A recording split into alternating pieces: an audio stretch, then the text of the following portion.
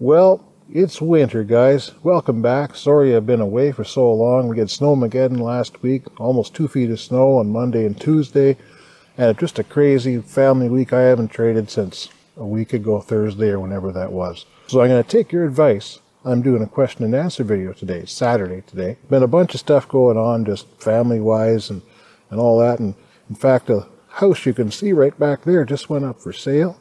And my mother was looking to downsize, so we got it for her anyway. So that's going to be another whole thing coming up. But that was a deal that had to be made pretty quickly. So that's all done now. But it had to come together pretty quick. And I was awful glad I was able to help. We've been in a real deep freeze here, like minus 35 the last couple of days. That's pretty much the same Celsius or Fahrenheit. It's a lot nicer now. It's about minus 20 Celsius, which is like maybe minus 3 or 4 Fahrenheit. While I'm out here, I got to get the snowmobile started and flood the rink. It's going to be enough of a day, but Let's get started with some questions. DPVR, thanks for the suggestion of a Q&A video. Says, among other things, wondering what exactly is my confirmation. Says, my trading style seems a little bit like an art. You got that right. That's right. not saying I'm an artist, but it's not cut and dried. There are a number of things I look at. The main thing is the price action and the movement between support and resistance. But there's a whole little checklist of things that I'll, I'll look for as far as whether to take the trade or not. But the main point of when to get out and when to get in. For the most part, that's just a price action. And most of it really is just from seeing it for so long and getting familiar with how the market behaves. I don't have any one particular confirmation that I look for other than another, though you will hear me rationalize why I get in and out as I trade in my videos. You know, it's much like any other profession or trade. There's not just one way to do it. Talk to a painter. I don't even mean like an artist painter. I just mean like a an auto body man or house painter, something like that.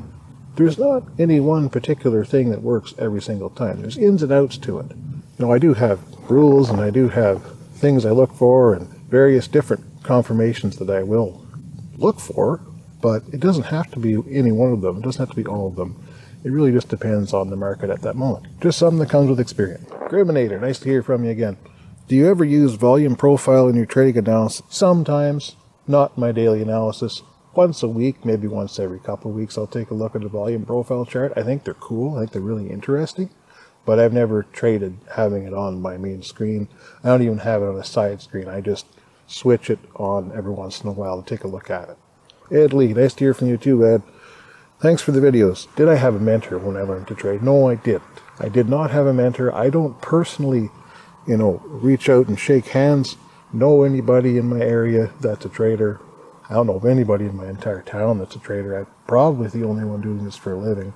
Even in the city around, the only traders I know really are people that live far away that I'll email or whatever. I pretty much just had a whole lot of time in front of the screen and um, trial and error, really. I watch lots of videos and uh, listen to lots of lectures and that sort of thing. Uh, I always liked listening to Linda Raschke. I don't really trade like she does, though my charts are borrowed from her. That's the type of chart that she uses. I don't trade her way, but listening to all of her various talks that she's done uh, over the years on YouTube and uh, things like that, you know, I listen pretty close to that. So she's the closest thing to a mentor I'd say I have, but, you know, I've never had an actual mentor. Mojo just made a comment that, you know, it's been a while since you've seen me take a loss. Last day I traded, I took that first loss. I've taken lots of losses over these videos, but for the most part, I get out at break even-ish, or a very small loss. That was a full loss, though. Just a comment he made, slowly desensitizing himself to losing trades and keeping calm so you don't make an irrational trade for the next trade. Yes, Mojo. That is so hard. Um, it's still hard for me now, really. But it pays to be disciplined or rather it saves you money, which is the same thing.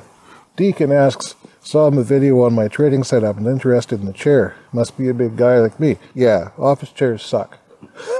this one that I have, oh, is pretty great and it's still holding up great. So I'll, I'll put the information down here for you, uh, or maybe put it in the bottom of the video so you can see just right from Amazon, but it's a super heavy duty chair. It's got an extra high back, extra wide. It's got all steel, no plastic. Pretty great chair.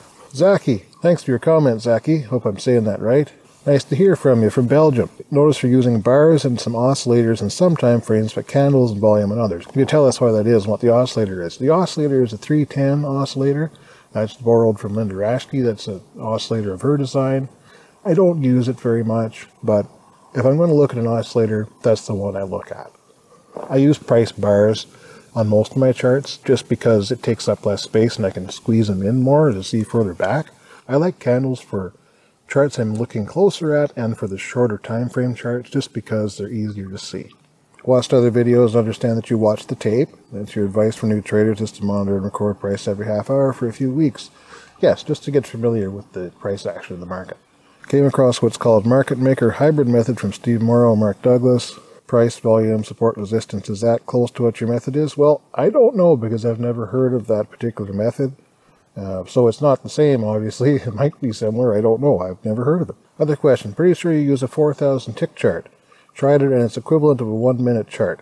Well, not always. That's the thing. It's a 4,000 tick chart. So at some points of the day, it might be, it might print a bar every minute. And then the next bar might take two minutes. The next bar might take five minutes. That's what I like about it. It's sensitive to not just volume, not volume exactly, but sensitive to the number of transactions. So it lets you see kind of the activity level of the market along with the price. And I just found that, you know, currently with the current volume of the S&P, that 4,000 just kind of gives me a, a speed that I like. Well, I'm losing daylight and I'm really just putting off the other stuff I got to do. So To finish that and we'll continue this inside. Here, that's a lot better. Nice and warm in here. Sammy Tong asks, what other platform do you use aside from TradingView? Thanks for your question, Sammy. Um, I use TradingView for charting, but I use Sierra Chart for execution, actually placing my trades. Why do I do that? Well, TradingView is much prettier, much easier to use for charting purposes, looking at different time frames, switching between time frames, stuff like that. Sierra Chart is rock solid for actually executing the trades, never, ever, ever crashing, using very little computer resources It's just a perfect execution platform, in my opinion. Paul B. Thanks, Paul, for writing. Talking about my two minute video there. Uh, winning Euphoria has turned a really good day into one of my worst in the past due to not being able to let go that I was ahead after a loss, trying to rush back into the green. Yeah, that's really hard. You know, it's still hard now to do that, but fact is, I just quit positive. That's all that matters. It doesn't have to be a lot. Over time, it will equal out. If you're negative and you get positive, don't let yourself go negative again. J-M-U-N-O-Z. Jimonos. Jimonos. Thanks for writing. Hope you had a great break. Well, it wasn't relaxing, but it was a lot of had to get stuff done stuff, and at least it's done. So thank you. What tick chart are you using for your trades on Sierra? 4000 tick on the full size ES on Sierra is what I use. Doesn't mean that's what you have to use, but that works great for me. Practicing trading the micro Dow, trying to figure out how many ticks I should use for the 8 to 10:30 Eastern trading time. Also night trading sessions around 8 or 9. Wouldn't be much volume on the Dow at that time, I don't think. Currently using 2000 tick for the daytime micro Dow and 512 for the latter for the nighttime. That's interesting. I'd have to look that up um, as far as what I would use. But if you want to figure that out, just adjust it from the ES um, or adjust it from the micro ES. I kind of recommend, like, I use a 4000 on the ES. The micro ES is approximately, not exactly, but like about half the volume, a little less maybe. So you know, 1800, 1900, 2000 on that. Check what the volume is on the micro Dow and adjust it according to what a 2000 would be on the micro E-mini or a 4000 would be on the regular E-mini. Um, in order to get the same kind of amount of bars that I get. That's really the way to do it. it. It's not, of course, a tick chart is not a volume chart, but it's the closest way you can adjust for it. Mojo, Nice to hear from you, Mojo. One thing, one thing I've learned about my trading is I'm absolutely terrible at taking trends. Always thinking it's going to reverse now. Yeah, and you probably see me catch those little reversals too, and that might not be all that helpful. Um, I love catching a little reversal whenever I figure that something's just going to take a breath and catch that little breath. But that takes kind of a lot of time and just a lot of hours to kind of get used to when those are going to happen. I don't catch them all either or get them all right, but I always liked counter trend trading for a short trade or a small, not necessarily short, but counter trend trading for a quick trade. You know, when you see a market that's going like that, you know, you got to be looking at going short and just trying to catch one of these to go short again. But, you know, it all comes with experience. You'll figure it out. Dom writes, Love your videos, Matt. Thank you, Dom. Options trader, thinking about focusing more on trading futures. Now, somebody else further back, I can't find the comment for whatever reason, was asking me if I trade options. I have never once traded an option. I don't have any interest in trading options. Not to say that it's not a good idea or that you can't do well at it. It's you know it's the same reason I don't trade a penny stock either because I just don't want to be bothered with it. It's too much trouble. It's too complicated. Too much to figure out.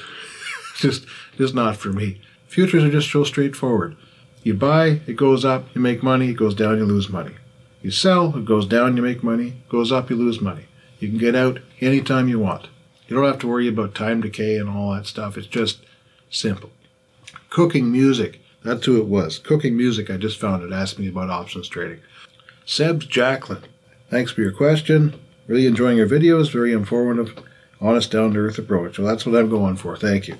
He's a newbie. What's an example of a high volume and liquid market? Best for me to watch and learn before I begin my real trading. Good question. You can't get much higher volume and liquid than the S&P E-mini futures or the Dow E-mini futures are pretty good too. The micro versions of those are good. That's if you want to trade futures like I do. I just think futures make a lot more sense for day trading than anything else. So I would look into the futures, the stock index futures, particularly the Dow and the S&P. So that'd be the ES, the YM. Look at the NASDAQ, the NQ if you want. But you won't be able to get the actual price data real time for that without paying for it. So you don't want to do that if you're just observing. So go on to like tradingview.com. TradingView is free. You can pay for more services, which I do. But basic one chart, a few indicators, whatever, one chart at a time is free. Go on there and look up a CFD feed, okay, of the Dow, which would be called something like US 30, and the S&P, which would be something like the US 500, whatever. Look that up and chart that. And you can watch that market because whether it's tied to the cash or it's tied to the futures contract as far as the price itself goes, it's still going to give you a pretty good idea of how that market moves.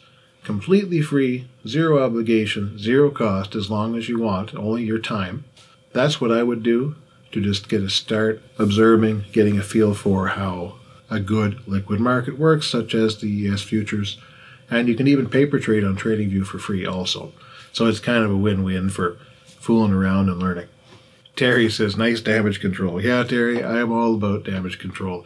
Believe me, when this, this theme has come back in the comments a number of times, I've gone through the whole like being in the hole and then getting positive and then not being that much positive and just wanting to get a little bit more. That's happened to me like hand, fingers, and toes wouldn't cover it amount of times. And, you know, you just get to the point where you're just sick of losing money and even though you got to, you know, kind of plug your nose and, and just clock out for the day, it's a lot better to do that for little or nothing than to wind up being kicked out later on because you lost too much. Comment from Stephen just today. Thank you for your comment, Stephen. Uh, this is actually Tuesday, so this will be today's video. Um, it's right now about 1.30 in the afternoon, and I was supposed to meet the guy at the other house to move the hot tub here at 9.30 and I've been waiting for his phone call ever since. So my guess is he's not coming today.